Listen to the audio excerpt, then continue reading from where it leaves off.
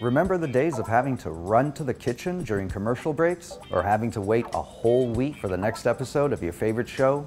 Well, consumers are changing the channel on their TV viewing habits. A new study predicts there will be more streaming subscribers than cable TV viewers in Canada by 2020. So what does this mean for consumers? Well, it may not be as simple as replacing your $80 a month cable bill with $12 a month for Netflix. With so many streaming services piling into the market, there's more competition than ever for your entertainment dollar. Since the launch and success of Netflix, it seems every major media company in the world is jumping on the streaming bandwagon. In just the past several years in North America, we've seen the arrival of Amazon Video, HBO Go, CBS All Access, Bell Canada's Crave TV, DAZN, and many others. And now even more media heavyweights are piling in.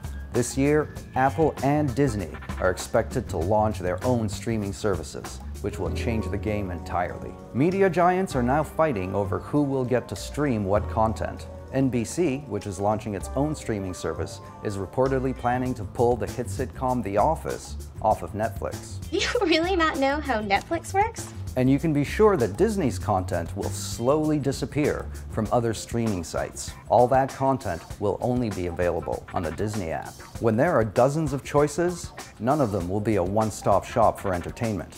With the average streaming subscription around $12 per month, five or six subscriptions could add up to a cable TV bill. Will we all go from Netflix and chill to Netflix, Crave, HBO, Amazon, Disney, Apple and chill? Seems like these services would end up being, well, TV channels all over again. Except now, we'd have to pay for each one separately.